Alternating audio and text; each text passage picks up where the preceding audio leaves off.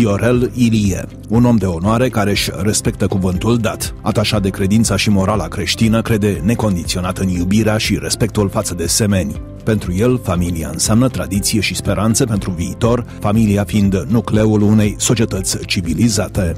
Viorel Ilie trăiește cu convingerea că educația este o prioritate absolută, adevăratul fundament al dezvoltării noastre viitoare. A dovedit că este un lider, un profesionist, care știe să construiască o echipă. Cu putere de muncă a demonstrat că experiența poate transforma inițiativele în proiecte realizate. Un om de acțiune.